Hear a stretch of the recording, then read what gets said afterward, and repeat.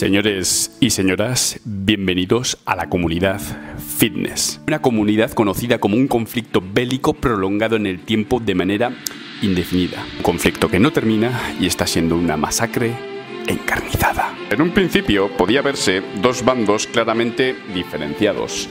El bando de los chuzados contra el bando de los naturales. Pero chicos, el conflicto se ha propagado hasta dentro del bando de los naturales. Aquí hay tiros por todos lados. Maravilloso. Vosotros sabéis que nosotros somos piratas y no tenemos ningún tipo de alianza y surcamos libremente por el mar de YouTube dejando atrás decenas mm, de víctimas. Madre mía, vamos a retirar al señor Spielberg porque para películas las que se monta en este canal. Navegamos libremente y el único navío que dejamos navegar a nuestra vera es el barco del señor Kike GC Lifter.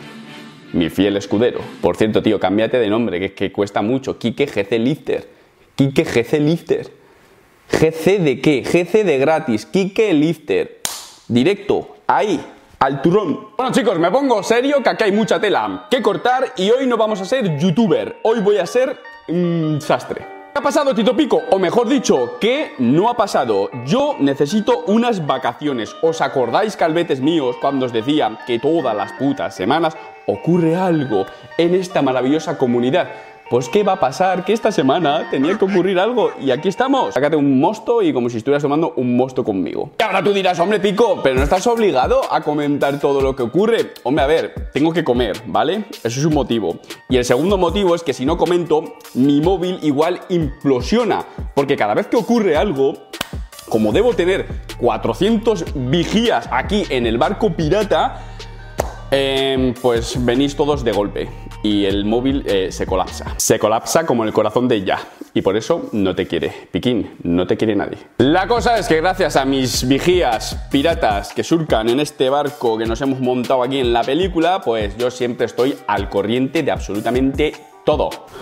Chicos, os pongo en situación, comenzamos. Existía una alianza formada por Badín Cavalera, el general de los ejércitos del Este, con Quique GC Lifter y Roberto Amorosi, y todos eran amigos y todos se invitaban mutuamente a sus correspondientes cumpleaños. En plan, Quique celebra su cumpleaños, pues invita a Badín y a Roberto. Roberto cumpleaños, invita a Badín y a Quique. Badín organiza una fiesta e invita a Quique y a Roberto. Pico celebra su cumple y no asiste nadie porque Pico no tiene amigos. ¿Queréis ser mis amigos? Cosa es que como todos eran amigos y se iba a celebrar el campeonato de culturismo natural que lo organizaba la Escuela de Culturismo Natural, pues como eran amigos, Badín promocionó dicho campeonato, incluso dijo que iba a competir aunque él no fuera culturista. La cosa es que le estaba mm, promocionando el campeonato para darle un poco de difusión a ese movimiento, al movimiento del culturismo natural, como los yogures. Espero que entréis en el hilo argumental porque esto es un puto caos. Hay muchas cosas que contar, ¿eh? En el fondo, a la izquierda, presta atención que siempre es el mismo el que no se entera.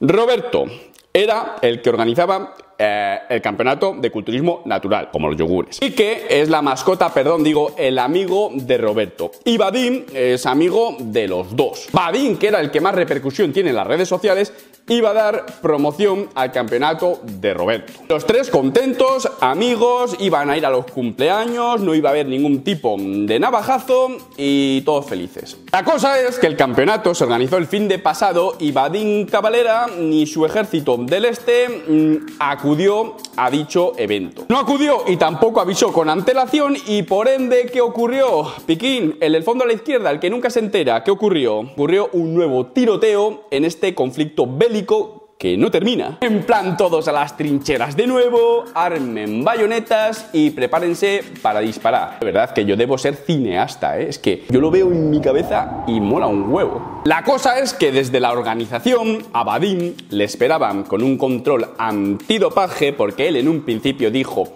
que iba a competir, aunque su verdadera intención era competir por darle visibilidad a tal movimiento y por estar expuesto a los controles antidopaje para dar ejemplo de naturaleza, ¿no? De, de que es natural como los yogures. La cosa es que a Badin le esperaba un control antidopaje y desde la organización le habían preparado una pequeña sorpresa para agradecer que una persona con tanta repercusión diera promoción a dicho movimiento.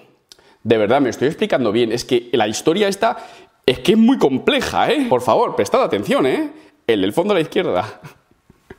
El del fondo a la derecha pégale un capón, hostia, que no se entera. Aparte de todo eso, que la organización estaba pendiente de que apareciese y todo lo que he contado, algún que otro guerrero educado pues fue con la ilusión de conocer a su general. Entonces, la parte de la organización de Roberta Morosi, la Escuela Natural de los Yogures y Quique se sintieron molestos porque no apareció y sobre todo porque no avisó con antelación. Y este punto es importante, el fondo a la izquierda.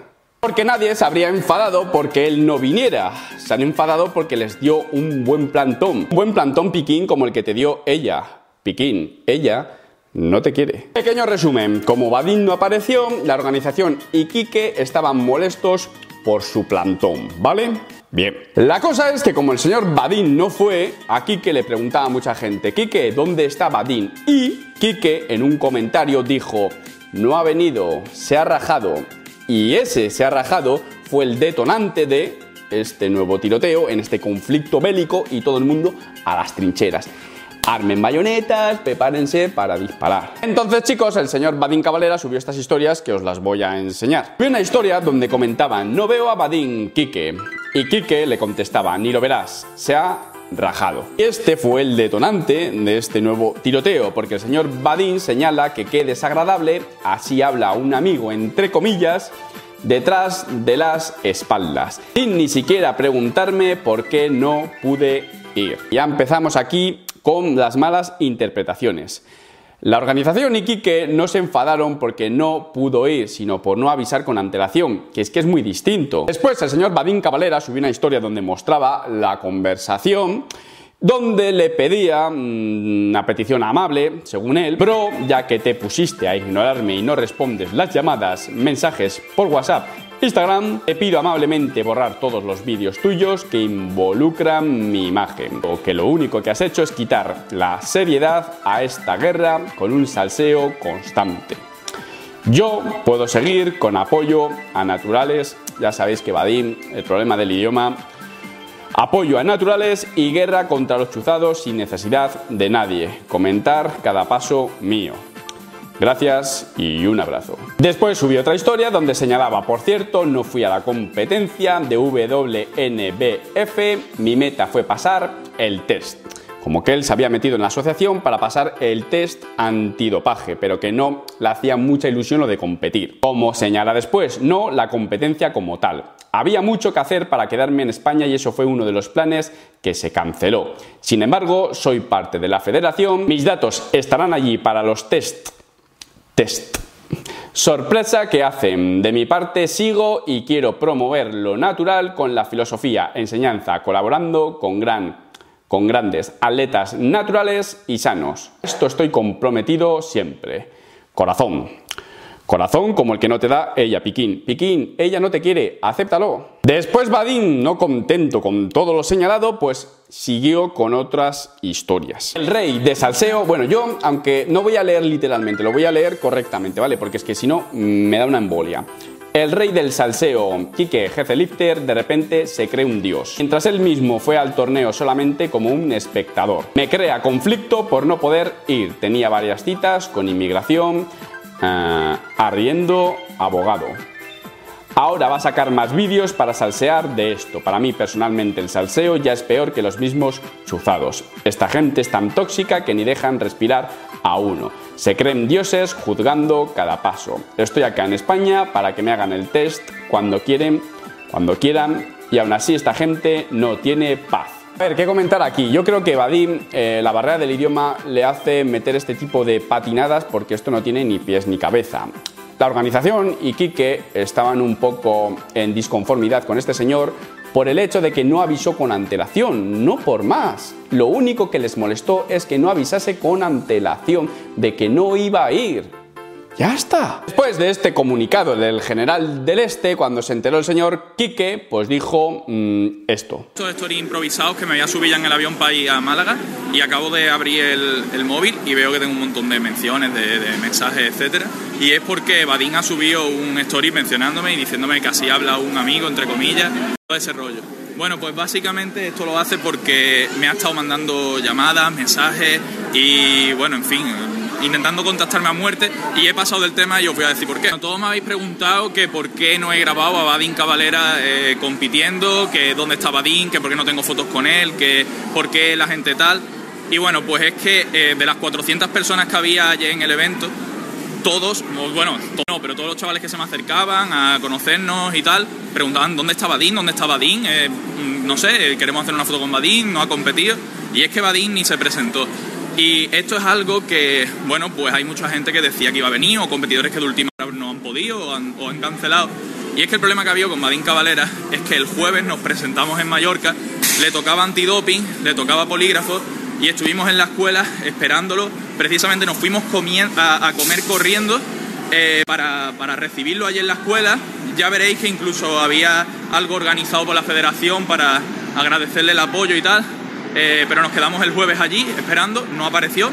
No se sabía nada de él, no contestaba los correos, no contestaba nada. Bueno, chicos, pues todo genial con el vuelo. Ya estoy en casa, ya cargo un poquito el móvil y he visto un poco, pues, toda la que se está liando. Y que Vadim dice que si es que ahora estoy poniendo a París porque no ha podido ir, todo, todo ese rollo. Si es que yo no lo estoy poniendo a París porque no haya podido ir, estoy diciendo que hay muchas personas han podido ir por unas razones personales, de lo que sea, pero todas las personas, todas han avisado. Y ninguna tiene dos millones de seguidores que estaban avisados de que él iba a estar allí. Y ninguna ha retado a otra persona a ir también. Y ninguna persona ha dicho públicamente yo voy a estar allí sí o sí, como ha hecho él. Ha sido el problema, que toda la organización estaba pensando que venía un tío súper relevante, toda la organización estaba esperándolo durante dos días haciendo el antidoping, todo el mundo preocupado, ¿qué pasa con Badín? ¿Dónde está Badín? Y cuando ya se han acabado todos los antidoping, todos los polígrafos, llega un mensaje de que no viene. La gente se coge un vuelo para venir allí, seguidores suyos que esperan verlo, un montón de chavales que también me están preguntando, Quique, ¿por qué no grabas a Badín compitiendo? Quique, ¿por qué no haces una entrevista con Badín? Quique, no puedo hacer eso porque Badín no se ha presentado, no tiene más, ¿qué le hago? No, ha venido. Ahora chicos, vamos a ser unos piratas benévolos y vamos a ver la historia desde cada posición para intentar empatizar con ambos eh, lados. Por el lado de Quique, la organización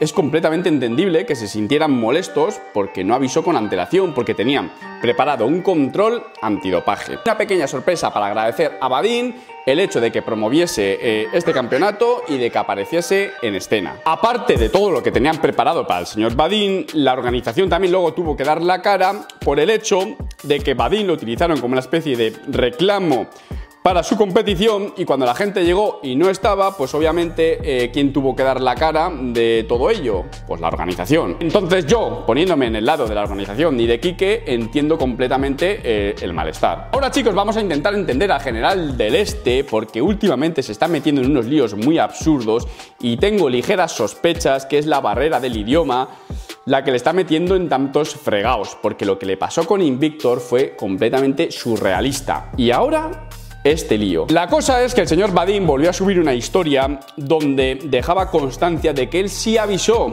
Pero Badin, cariño, el problema es que avisaste muy tarde, sin posibilidad de reacción por parte de la organización. Entonces les diste plantón. Cuando ya te estaban esperando para la cita con el ramo de flores, tú le avisaste a tu cita de que no ibas. Muy tarde, Badín. Saca esta historia donde dice, me aviso al presidente de la WNBF que no iré a la competencia, ya que esta gente ni sabe con qué joderme y dice que no avisé. Badín, que se queja de que avisaste tarde, no de que no avisaste, no de que no fueras, de que avisaste tarde. Aquí sale el mensaje, hola Roberto, es Badín, estoy resolviendo lo de mi apartamento, residencia, etcétera, para quedarme en España. Por eso decidí no ir a la competencia. Además, posar y todo no es lo mío. Quería atender la competencia solamente por el test. De igual manera, siendo parte de la federación, espero que me puedan hacer los tests. Lo paso fatal con esta palabra, ¿eh? Tests. Sorpresa o algo de este estilo. Gracias y saludos. Y Badín, te metieron una manita arriba. A ver cómo explico esto. Un ok y una manita arriba de siempre es una persona molesta. Si tu chica eh, Piquín, esa que no te quiere, te pone una manita arriba o un ok, créeme, le pasa algo y aunque te diga no, no me pasa nada, créeme, le pasa algo, manita arriba y ok, es mal. Es del demonio. La cosa es que Badin avisó muy tarde, pero avisó. ¿Y qué nos quiere decir esto? Que él dio la cara. Muy tarde, pero la dio. Entonces esto me hace pensar que Badin no era consciente de la importancia y la expectación que había en torno a su presencia en aquel campeonato y por lo cual, como no era consciente, pues fue un huevón y no avisó con antelación. Porque es que no me cabe en mi cabeza que tú des la cara tarde. O sea, te cuesta lo mismo dar la cara tarde que dar la cara una semana antes. Incluso es más difícil dar la cara tarde porque es cuando la gente ya está enfadada. Con lo cual yo creo que este señor no era consciente y por eso pasó olímpicamente. Quiero creer. También quiero pensar que no era consciente del control antidopaje que le esperaba. Y me explico. Cuando yo hablé con él hace unas semanas por teléfono, me dijo que a la competencia pues le daba igual, que él estaba ahí en esa asociación para que le hiciesen los controles antidopaje, que era lo que quería, para exponerse él a tales controles como ejemplo para la comunidad. Y me comentó que él ya estaba en territorio español, en las Islas Canarias, y que ya le podían hacer un control antidopaje sorpresa en cualquier momento. Por lo cual tengo sospechas de que Badin no se enteró de nada, no quiso ir a la competencia y dijo, bueno, pues que me manden el control a casa. En vez de hacerlo allí, que me lo manden a casa. Esto es la impresión que me dio a mí cuando hablé con él y tengo fundadas sospechas de que no se entera bien de la película, de que tiene problemas con el idioma.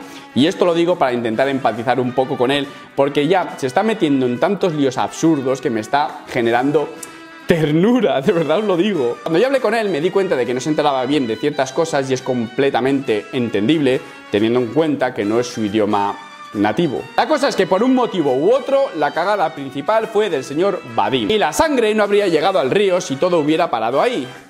Pero no. En vez de pedir disculpas por su falta de seriedad, por esta pequeña cagada, eh, y no habría llegado la movida más allá, pues en vez de pedir disculpas, digamos que quiso tirar balones fuera y empezó a atacar a Kike en cierto modo de manera injusta. Porque eso de estar 100% de acuerdo con el contenido de alguien cuando las cosas van viento en popa, pero luego cambiar radicalmente de opinión cuando las cosas no van como a ti te gusta, parece una incongruencia y ser ventajista. Cuando te conviene, eh, apoyas a Kike, incluso le das promoción a sus vídeos, pero cuando la cosa se pone fea, dices que el salseo es incluso peor que los propios chuzados.